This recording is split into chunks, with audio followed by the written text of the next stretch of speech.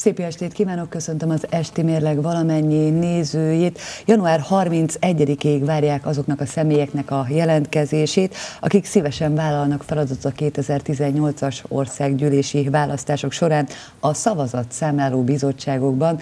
Erről is szót ejtünk stúdión vendéggel Laci Zoltán, a választási iroda vezető helyettese. Köszönöm, hogy elfogadta a meghívásunkat. Jó estét kívánok! Nos, ugye ez az alaphír, ami már néhány nap itt a Fehérvár Média Centrumban is elhangzott. Miért fontos ez, és egyáltalán mi a menetrendje annak, hogy valaki a szavazatszámláló bizottságba tag legyen? Én nagyon szépen köszönöm, hogy a Fehérvár Média Centrum fölkarolta, és az első között adott hírt erről a, a feladatról. Tudni kell a, a televízió nézőknek, hogy a szavazatszámláló bizottságok tagjait négy esztendőre választjuk. Ugye minden szavazatszámláló bizottság öt főből három választott és három póttagból, a póttagokat is ugyanúgy a helyi testületek megválasztják. Négy évre szól, a négy év alatt ugye országgyűlési önkormányzati választás, EP választás 2016-ban országos népszavazás volt.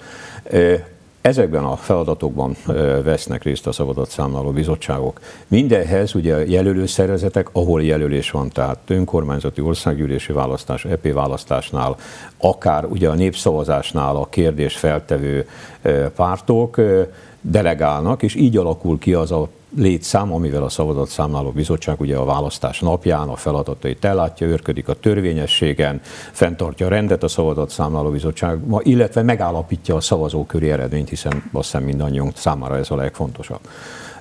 Lejárt a négy év, az elmúlt hetekben felmértük, hogy a 2014-ben megválasztott létszámhoz képest hogy állunk, és azt kellett tapasztalnunk, hogy sokan lemondták, akár elköltöztek Székesfehérvárról, tehát csökkent a szavazatszámláló bizottságok szám, tagjainak a száma, és nem csak itt országosan is, mert én több országos ö, ö, médiaban hallottam hirdetés, hogy a Nemzeti Választási Iroda is kéri a választópolgárokat, hogy az SSB munkájába vegyen részt, és ezért kérjük a választópolgárokat, hogy január 31-ig egy formanyomtatvány kitöltésével, aki részt akar venni, ö, jelentkezzen. Önkormányzatunk honlapján is megtalálható ez a, a kérelem.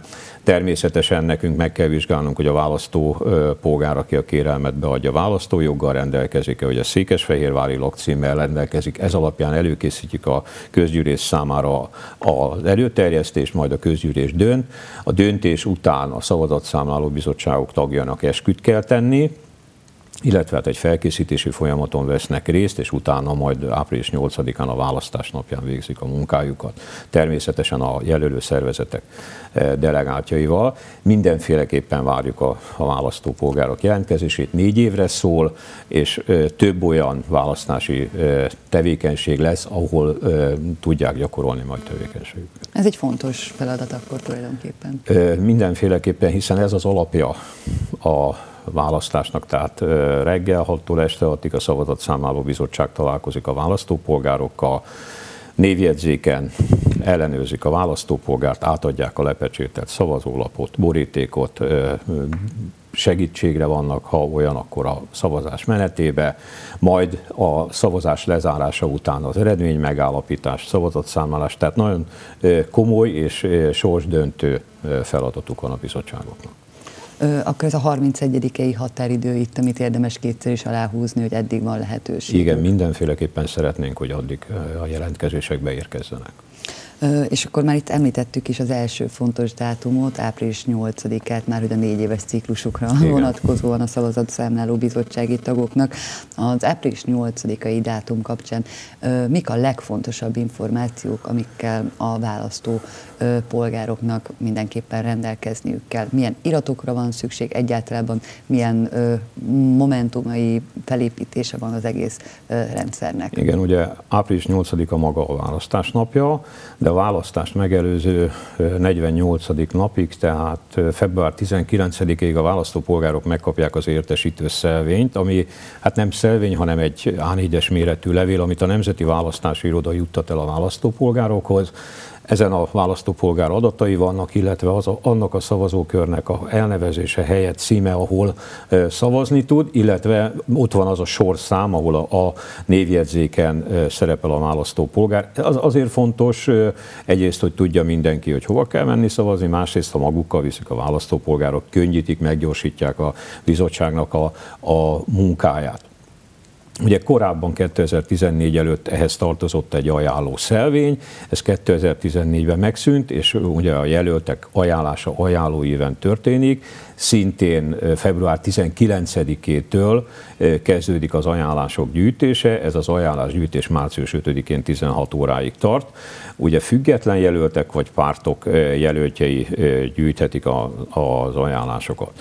Ami nagyon-nagyon fontos, ezen az ajánlóívon a választópolgár neve, édesanyja neve, személyi száma, tehát azt tudnunk kell, hogy a választási rendszerben a személyi szám használata kötelező, illetve a lakcíme, szerepel, és a választópolgár, aki az ajánlást teszi, a saját kezű aláírásával igazolja, hogy ő az ajánlást tette. Amit itt tudni kell, hogy egy választópolgár több jelöltet is ajánlhat, viszont ugyanazt a jelöltet csak egyszer tudja ajánlani, hiszen többes jelölés esetén minden ajánlása semmisé válik. És gondolom, hogy ezeket az adatokat azért szigorúan kezelik. Természetesen az egyik dolog az, hogy az ajánlóíveket mi legyártjuk, átadjuk a jelölőszervezeteknek, a jelölőszervezetek átadják a részünkre a határidőn belül, le kell ellenőriznünk, a személyszám és a többi adat alapján tudjuk ellenőrizni, és ha az adott jelöltnek 500 érvényes aláírása van, akkor mi az ellenőrzést befejezzük, a összesített dokumentumot átadjuk a választási bizottságnak, a választási bizottság dönt abban az esetben, ha megfelelő számajánlás van, akkor ugye jóvá hagyja és elfogadja az ajánlást, és akkor így jelölté válik az ajánlásgyűjtő. Ezeket az ajánlóíveket a bizottságülés, illetve a jogorvoslati idő letelte után mi lezárjuk, lepecsételjük, zárt helyen, lemesszekénybe a, őrizzük a választást követő 90. napon, és a 90. napon pedig meg kell semmisítenünk.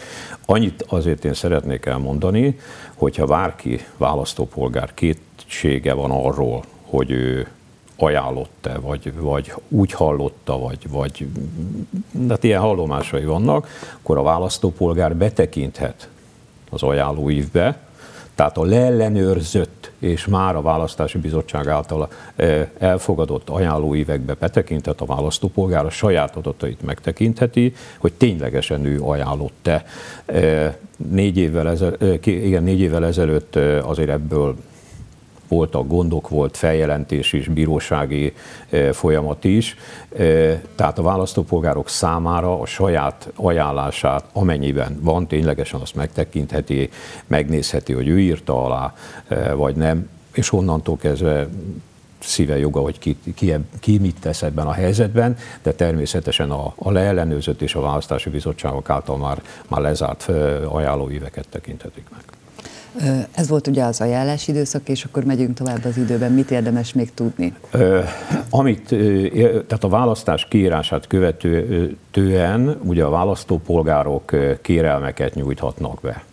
A kérelmek között szerepel, aki a nem alakúhelyén kíván szavazni, vagy nem alakúhelyen tartózkodik a választás napján, ugye ő átjelentkezhet. Aki a választás napján külföldön van, a külképviseleten szavazhat, és ugye a külképviseleti szavazásra jelentkezhet be formanyomtatványon teheti meg. Ezek a formanyomtatványok a választás.hu honlapon megtalálhatók elektronikusan is, és papír alapon is be tudja adni a választópolgár, elektronikusan ügyfélkapunk keresztül, illetve ügyfélkapu nélkül is el tudja juttatni, illetve papír alapon kinyomtatva, kitöltve, akár személyesen a választási irodával, vagy postai úton el tudja a választási irodához juttatni. A beérkezést követő egy napon belül, a választási irodának a kérelmet meg kell vizsgálni, és meg kell hozni a helyben hagyó vagy az elutasító határozatot, és itt beszélt igazgatóasszony a, a dokumentumok fontosságáról, tehát itt nagyon fontos, hogy érvényes dokumentumok alapján töltsék ki a választópolgárok, mert azok az adatok vannak a számítógépes rendszerben, mi ezzel az adatállományjal tudjuk egyeztetni, ha itt eltérés van, akkor nekünk a határozatot, tehát a kérelmet el kell utasítanunk, és egy elutasító határozatot kell hoznunk.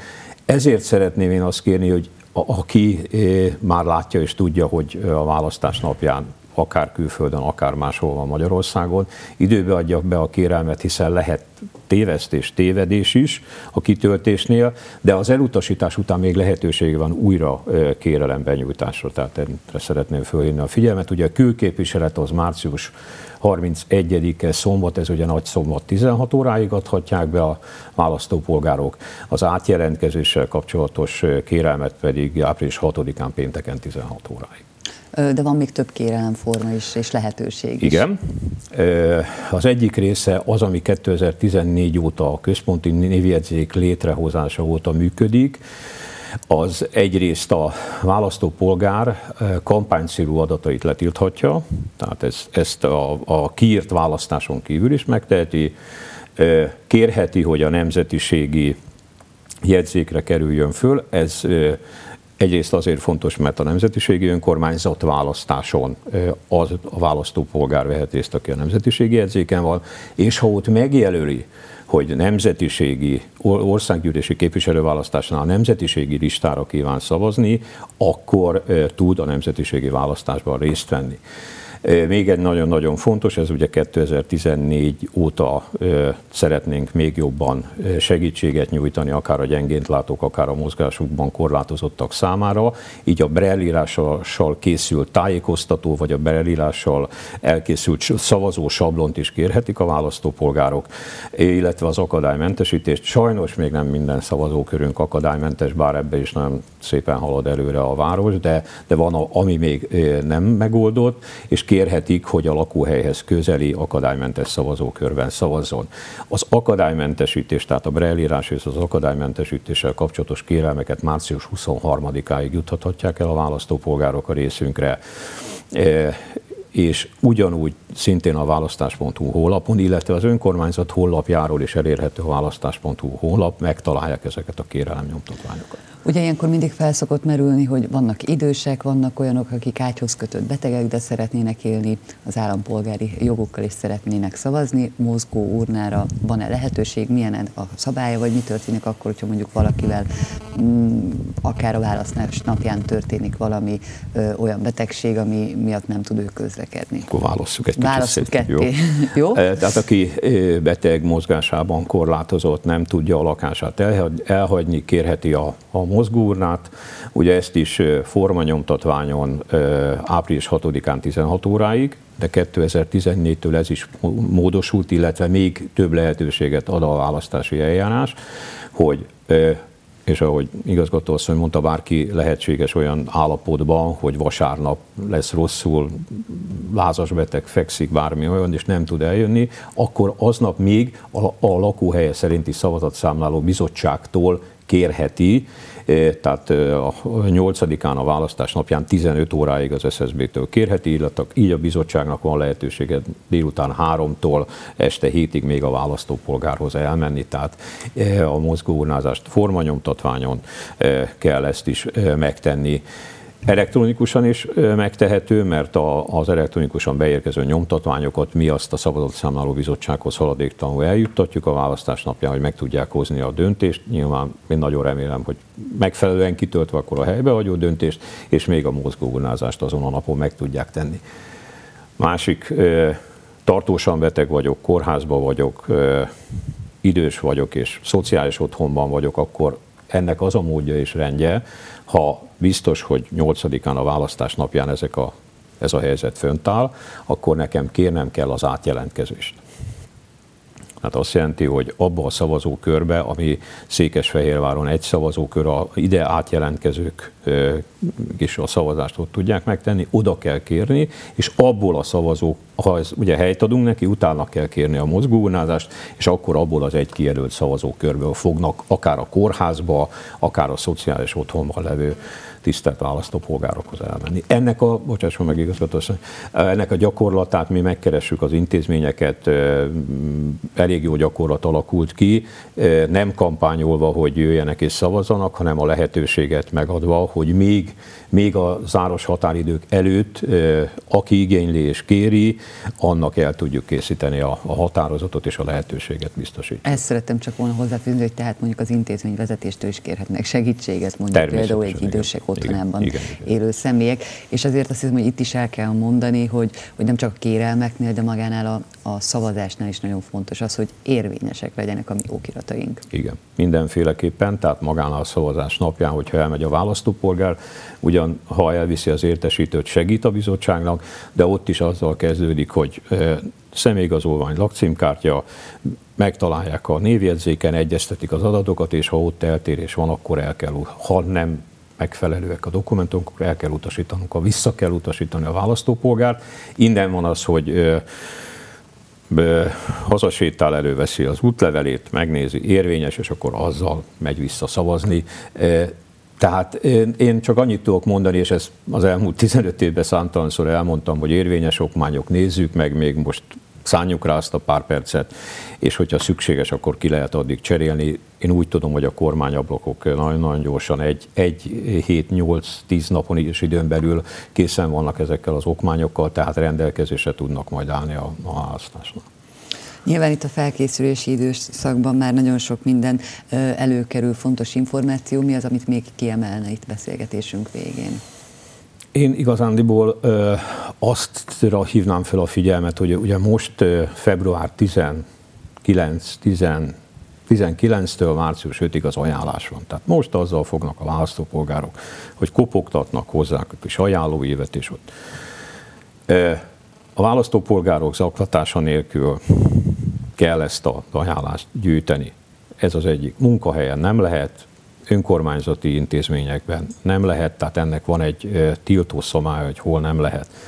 Ami nagyon-nagyon fontos, hogy a választópolgár a meglevő dokumentum alapján töltse ki, vagy az ajánlás gyűjtő is kitöltheti, de ami nagyon fontos, hogy a választópolgár maga írja alá. Tehát én beszéltem erről, hogyha valaki be akar tekinteni, és a saját akkor a saját aláírását lássa ott, ne, ha más is írta be az ő adatait. Tehát erre, a, erre a törvény lehetőséget, hogy a kitöltést akár az ajánlás gyűjtő végezze, de itt az aláírás, ami nagyon-nagyon fontos.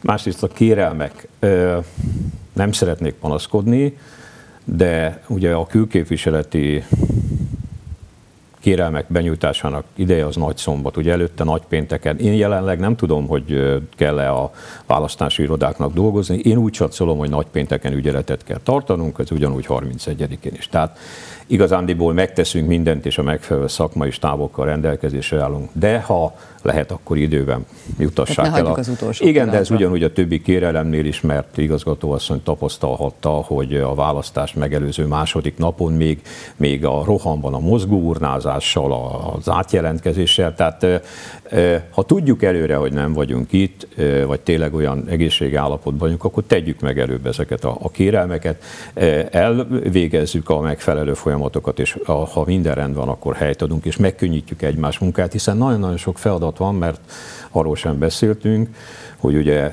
106 egyéni választókerület van, Székesfehérváron az átjelentkezők számára egy szavazóhelység van, ahol lehet szavazni, itt közel 2000-en voltak 2014-ben a névjegyzéken, és mind a 106 egyéni választókerület szavazólapja ebben a szavazókörben megtalálható volt. Tehát nem kis feladat abban a szavazókörben mondjuk egy, ezt a fajta munkát elvégezni, de ezt sorolhatnánk a most az előkészítés feladatait és természetesen a folyamatos tevékenységünket. Én köszönöm szépen, hogy elfogadta a meghívásunkat, és hát nem fenyegetés, de fogunk mi még itt találkozni. Nagyon szépen köszönöm, állok elébe. Köszönöm szépen, nézőinknek pedig köszönöm a figyelmüket, esti mérleggel természetesen holnap este is várjuk Önöket itt a Fehérvár Televízióban. Kellemes időtöltést viszontlátásra!